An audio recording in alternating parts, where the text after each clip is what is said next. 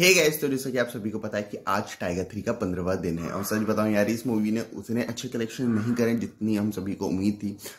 Factors काफ़ी सारे रह रहे हैं वर्ल्ड कप फैक्टर रहा है इसकी रिलीज़ डेट इसकी मार्केटिंग मुझे तो काफ़ी ज़्यादा शिकायतें हैं इन दोनों ही चीज़ों से, इसकी रिलीज़ डेट और मार्केटिंग से। क्योंकि मुझे पर्सनली लगता है कि ये दोनों इस चीज़ इस मूवी के लिए क्लिक नहीं करी है।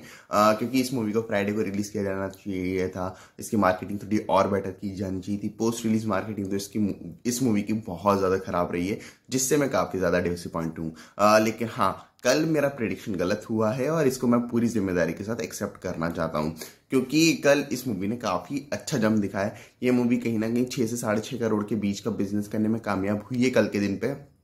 मेरा कलेक्शन मेरा जो प्रिडिक्शन था, वो करीब साढ़े पाँच करोड़ का था। तो हाँ मेरा, मेरे से गलती हुई है और इस मूवी ने मेरे प्रिडिक्शन से ज़्यादा बेटर कलेक्शन किया जिसके कारण मैं काफ़ी ज़्यादा खुश हूँ। क्योंकि अगर ये मूवी ज़्यादा बिज़नेस करेगी तो मेरे को अच्छा ही लगेगा यार मेरे को चाहिए ये मूवी भी अच्छा बिज़नेस करे क्योंकि आ, ये सलमान खान के करियर के लिए काफ़ी इंपॉर्टेंट मूवी है।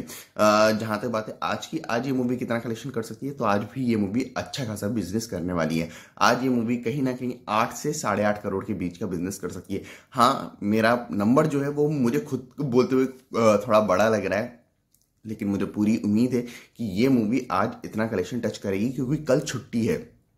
कल काफ़ी सारी जगह पे गुरु नानक जयंती की छुट्टी है तो मेरे हिसाब से उसका एक, इस मूवी को आज रात के शोज़ में फ़ायदा होगा और इसी कारण से आज ये मूवी आठ से साढ़े आठ करोड़ टच करने वाली है। आपको क्या लगता है इस मूवी का लाइफ टाइम कलेक्शन क्या होगा? मुझे कमेंट्स में ज़रूर बताना। बाकी मिलते हैं अगले वीडियो में। तब तक के लिए जय हिंद, जय भारत।